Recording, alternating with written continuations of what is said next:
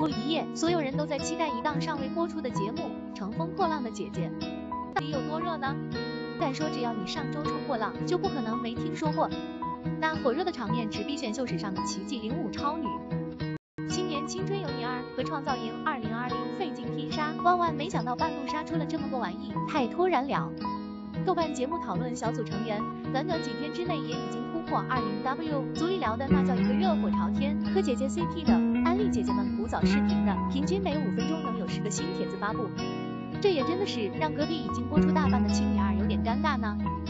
节目本身呢，是一档主打三十加姐姐们唱跳 PK 选秀出道的节目，三十个已经出道，在娱乐圈摸爬滚打，超过一零年姐姐争取五个成团位。光下面这一张节目嘉宾表，就不知道能让人引出多少场大戏。知自家低调的姐姐，竟然要去参加这样充满火药味的节目，各家粉丝来不及做准备，就纷纷下场。瞅这海报做的，张张背后都是一句我们绝不能输。于是像万茜、王志这样岁月静好的女明星，粉丝从前也都是不动声色的，哪成想有一天也要面对饭圈厮杀的场面。据说节目还设置了踢馆嘉宾，所以现在不少路人粉都在积极呼吁各大三十加女星来参赛。不过光是这首发阵容，咱就能有不少可以说到的。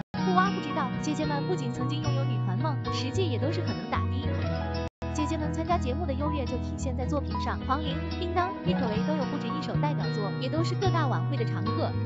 转音歌姬黄龄代表作《养和嗨歌》，郁可唯则是唱了不少 KTV 必点的影视插曲，《时间煮雨》《知否》，谁都能跟着哼上两句。叮当这些年没红起来，一直是我的意难平。他的我爱他，猜不透真的都超级好听的哇。姐姐们可都是实打实发过专辑的人，而且职业歌手也不止这三位，其他姐姐中又很可能杀出个黑马。啧啧，OCO 这组的竞争会有多激烈？到时候节目播出，产出几个好听的舞台是绝对没问题的。这里插播个冷知识，郁可唯和叮当是所有大陆女歌手中 YouTube 播放量最高的 Top 一和 Top 二。本以为是美丽废物，没想到是全能 Ace，这评价说的是黄圣依。发行过四张音乐专辑，二零零九年开过万人演唱会，连续两年登上央视春晚演唱歌曲。黄圣依粉丝喊话也是莫名好笑，姐姐再不努力你就要回家做少奶奶了。另一位唱跳俱佳的姐姐阿朵，目前水花很小，但是她当真是可甜可御可性感，可唱可跳可民谣，实力不容小觑。舞担方面，大家完全不担心，孟佳和王菲菲曾是女子偶像组合 Miss A 成员，出过道的。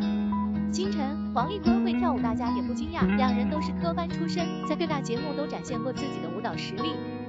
这转圈转的我头都晕了，姐姐们太强了。卡拉了一圈，发现还有位被忽视的舞蹈王者刘云。他上小学时就被选进体校学习艺术体操，后来又特招进了广州舞蹈学院少女舞蹈团，进行了为期四年的专业民族舞训练。毕业后还去了广东南方歌舞团当舞蹈演员。啊，我真是等不及要看姐姐们 battle 了。先说一句，这一趴咱就纯属闹着玩，几位的实力是有目共睹的，只不过性格太虎，大家更想看他们用精准的毒舌和犀利的眼神大杀四方。前不久罗志祥被曝出轨，多人运动，赵一起隔天就上传了一段怒剪八爪鱼的内涵视频，腿多了容易劈，就该剪剪，完全没在 care 两个人在星爷电影《美人鱼》里的合作情谊。毕竟张姐脾气向来火爆，手上汪小菲，脚踢王全安，刀砍袁八甲，以虎名在外。不要惹姐，惹了就是随时随地都能给你甩脸子。作为节目提笔的黄晓明顿时卑微了起来，连粉丝都朝他喊话：不要惹姐姐们，你会被撕碎的。只是躲过了张雨绮，可能也躲不过宁静吧。